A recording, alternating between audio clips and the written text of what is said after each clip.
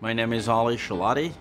I'm the chairman of the Department of Biochemistry and Molecular Genetics at Northwestern University School of Medicine. I also serve as a director of the Simpson Querrey Institute for Epigenetics, along being the professor of biochemistry and pediatrics at Northwestern Medicine. So I used to sleep in my car right across the street from this gym.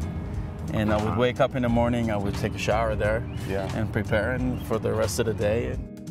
When I walk to your care center and I see that the university values individual who may not be as fortunate, but they don't want to let them go hungry, I respect that. I walked around the campus and I was floored with the growth in here. When I was at KSU in between 1985 to uh, 1989, it was called Kennesaw College back then. It was right after the college went from a two-year college becoming a four-year college, and there were six buildings at the time.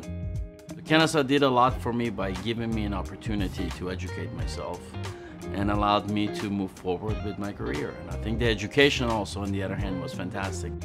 Given all the great things that are happening with the education, I think the future is very bright. And KSU is definitely going to lead education, not only in the state of Georgia, but hopefully in the United States.